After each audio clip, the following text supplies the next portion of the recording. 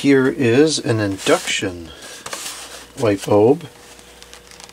I believe it's model 4340 to 23 watts. And according to this, it outputs 1400 lumens. 800 lumens approximately is what a traditional 60 watt light bulb is. So I believe this would be an equivalent of about a 100 watt light bulb, somewhere in that range. And the coloring is the 3500K, which is cooler than I'd like for certain applications, but there is some applications where that's fine.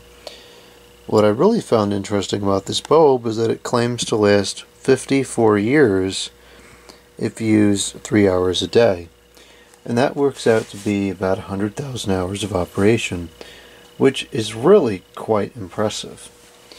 So let's see if this bulb is any good.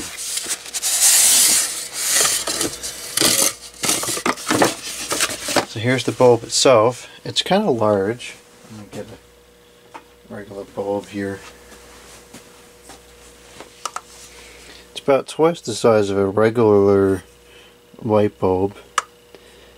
But it's not outrageously large. There's plenty of fixtures I have that this will fit in with no problem.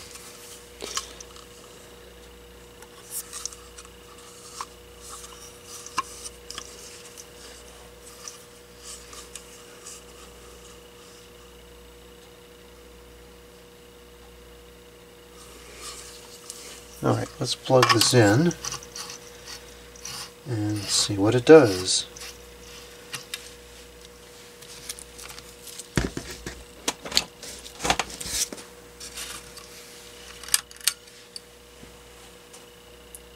Okay, it does seem to do the work.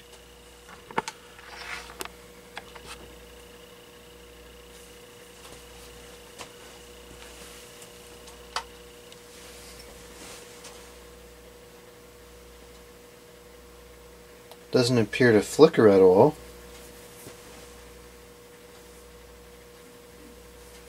It's moderately bright. Doesn't seem to me like it's 1400 lumens though. Maybe it needs to warm up.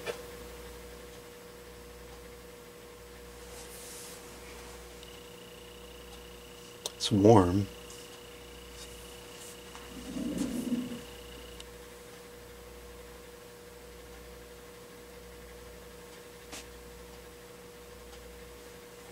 Doesn't seem like it's getting any brighter.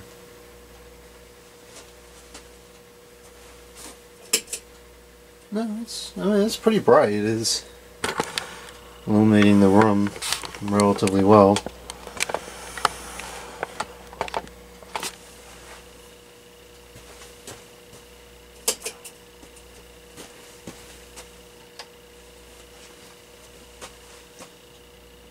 It's getting it's not hot, but it is warm. It appears to be pretty much instant on. This a, less than a second of delay. So that's interesting. Um, hmm, okay. So not bad. That's pretty decent quality light. It is a little bit cool though. It's, it's definitely not a nice warm color. I wouldn't use this necessarily in a bedroom. Although, certain lamps, if you had a nice warm colored lampshade, probably would be okay. So that's interesting. I think I'll buy a few more of these. This is pretty cool. And if they really do last 100,000 hours, that, that really is quite impressive.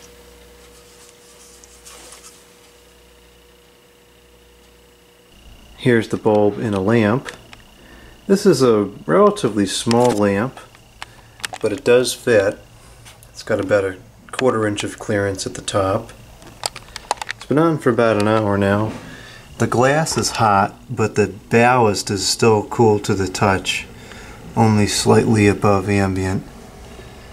So that's good. As far as the color temperature goes, you can tell it's not quite as warm as, as a 2700K bulb is.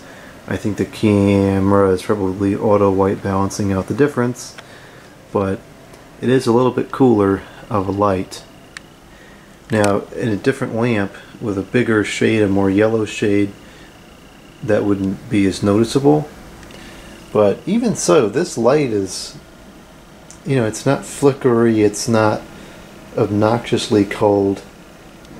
It's not for a bedroom, but it's quite satisfactory for plenty of applications around the house. So I'm pretty happy with this bulb.